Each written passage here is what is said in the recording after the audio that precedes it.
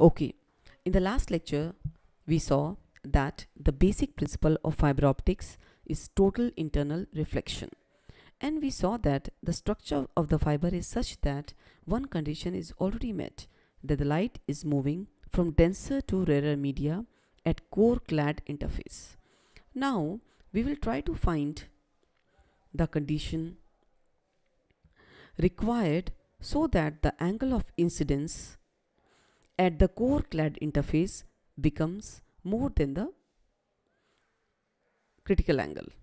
So here I have drawn for you a typical optical fiber which consists of a inner layer core whose refractive index is n1, outer layer clad whose refractive index is n2 and I have we have taken the chosen the material in such a way that n1 is greater than n2.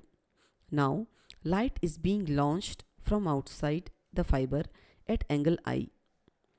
This light moves inside the fiber and refracts at angle theta and then strike the core clad interface at angle phi.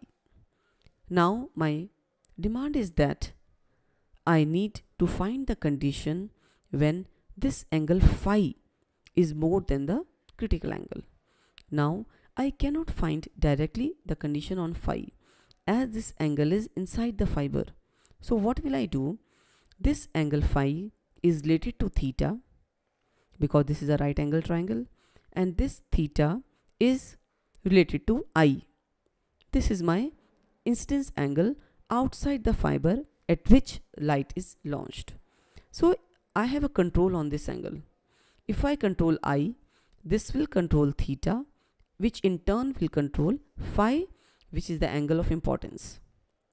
So we will try to see that how do we derive this condition. This is very simple. So this, for example, if the light is being launched at I and taking the axis as central axis, I move this ray around and find the locus of, of all the points of all the rays then I get a cone and this will be my circle here. So the light is being launched at angle I. Now let us apply Snell's law at the first interface. N naught is the refractive index of the medium from which light is being launched. If it is air, later on N naught can be taken as 1. At present I am keeping in general N naught. So my first interface is N naught and N1. Light is being launched from air inside the core. So here angle of incidence is I. The ray reflects at angle theta, strikes core clad interface at angle phi and if phi is greater than phi c, total internal reflection will happen. So we have to find this condition. So now applying Snell's law, you all must be familiar with the Snell's law. It says the ratio of the sine of angle in the first media upon sine of angle in the second media angle of refraction is equal to the refractive index of second media by refractive index of first media. This is my Snell's law. Now applying Snell's law at air, I am taking air but still I am keeping n naught air core interface. So this is my first interface. Let's go back to the diagram here. This is my first interface. So how do I apply Snell's law? Sine i by sine theta is equal to n1 by n naught.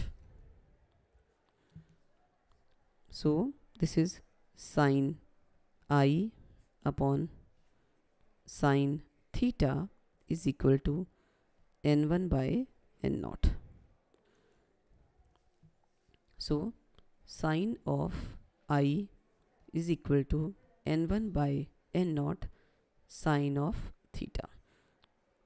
This is my first condition. Now, if I want to find at the critical angle, so if I take theta for if phi is I'm trying to find the condition at the critical angle. So at the critical angle phi is equal to here phi c.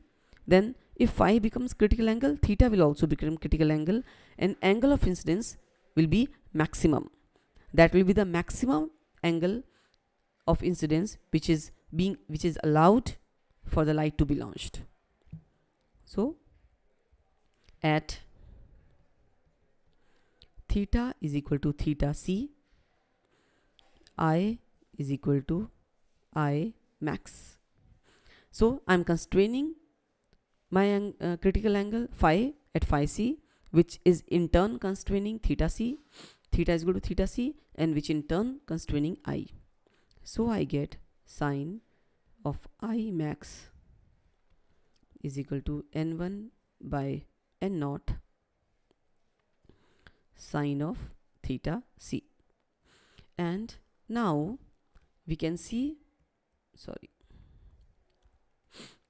In triangle AB I can write here M ABM theta phi this is 90 degree. So theta c will be 90 minus phi c. So I can write theta in terms of phi. In triangle ABM theta c is equal to 90 minus phi c so I can write sine i max is equal to n1 by n naught sine of 90 minus phi c is equal to n1 by n naught cos of phi c. This is my equation 2. Now I will apply I will apply interface Snell's law on the second interface which is core clad interface. Here I will apply for the critical angle. When the light is being launched at critical angle the ray refracts at 90 degree. So I get applying Snell's law at second interface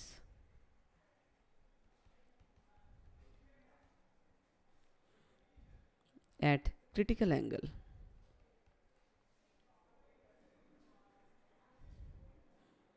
n1 sine phi c is equal to n2 sine 90 degree. If the ray is incident at critical angle, the angle of refraction is 90 degree. So I get sine of phi c is equal to n2 by n1. Sine 90 is 1. I can find cos phi c from here that will be equal to 1 minus n2 my n1 whole square. Now you know we got here sine of i max in terms of cos phi c. I can write the value of sine i max by substituting the value of cos phi c and I get sine i max is equal to n1 by n naught under root 1 minus n2 by n1 whole square.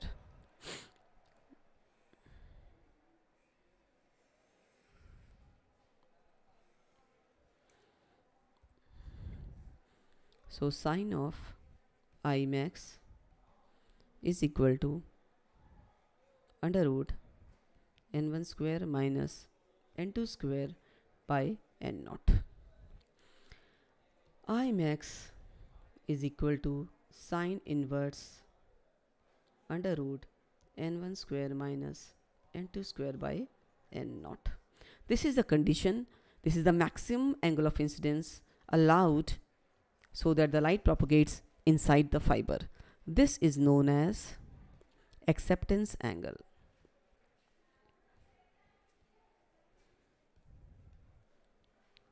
That the angle at which the light is accepted inside the fiber angle and this incident ray when it is moved around the central axis it forms the cone so the cone enclosing acceptance angle.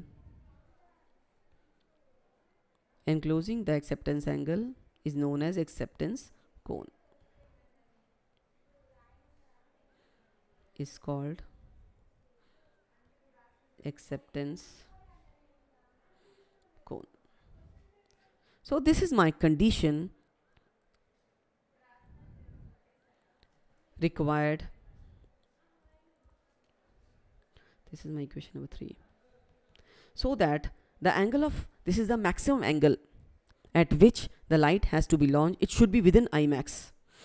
So this gives me the condition that my angle of incidence should be within I max so that the angle at the core clad interface is more than the critical angle and the light propagates inside the fiber by fulfilling the condition of total internal reflection.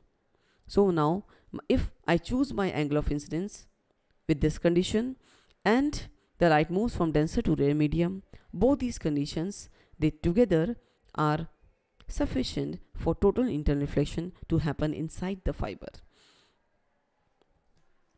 Thank you.